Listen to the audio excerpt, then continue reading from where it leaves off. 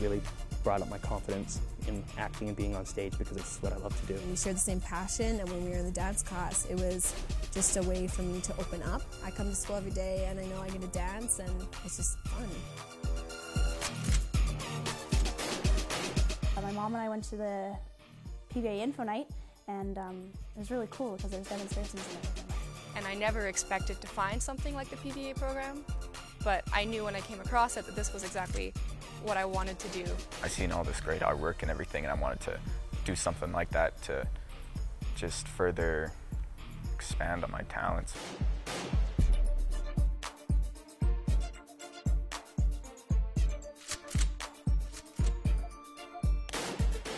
We can go and play these amazing chord progressions and just learning on how to build those, how to make myself actually create some of the amazing things that I like to listen to. I can take pride in what I do, and it's not very often that there's male dancers. And I think the courage to kind of like pursue that and work hard at that uh, helps with my confidence and like dedication. Building a show, presenting a show, that atmosphere, it, I think it raises the general energy level of, I'd, I'd say the school.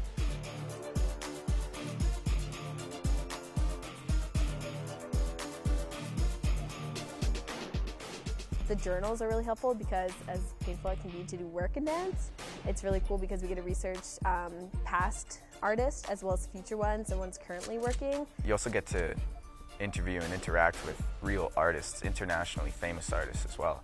And that's cool to hear their take on how they got to that point sort of thing and how they were just like us as well. It's gonna change the way you think about drama class. Um, it's so professional, people get to work with, it's just an amazing experience. It's almost like a real theater company.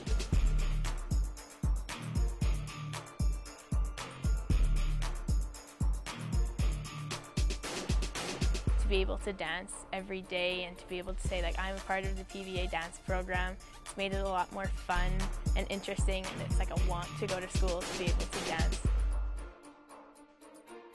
I would like classify myself as a dancer that could sing, but now I think it's finally like become like even grounds that I'm just as good of a singer as I am a dancer.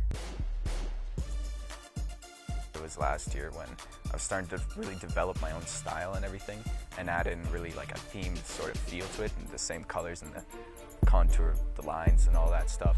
And people really started to recognize that and they'd be walking by in the hallway and they'd, they'd stop and look at all the pictures and everything. They'd say, I like this one best. It would always be mine. I thought it was, it was kind of good about that.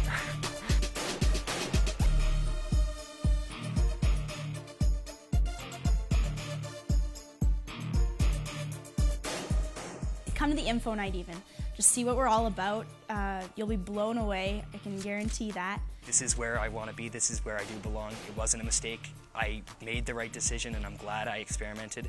It's good to interact with people who have the same passion and interest and as you do.